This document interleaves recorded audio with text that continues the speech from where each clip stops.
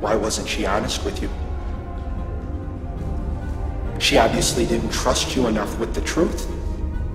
She was ashamed of it. Or she had an agenda and she knew exactly how to play you. No. All you had was her.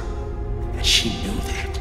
No, we worked because we were different. You worked because that's the way she wanted it. She needed a place to hide. You were nothing but a fake mustache. Shut up! You summoned me for love, I want to see her. so I'll just reach down into the ass of hell and get her for you. She was taken by something, something like you. What's it about? It's about a guy who sells his soul to the devil for knowledge and power. There's nothing to know. Oh yeah, You- you been there? No. Never. What? Oh, the face. Right. This is good stuff.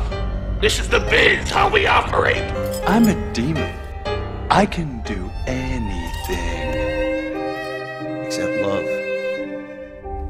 A demon should never entertain the idea that love is the answer to its question.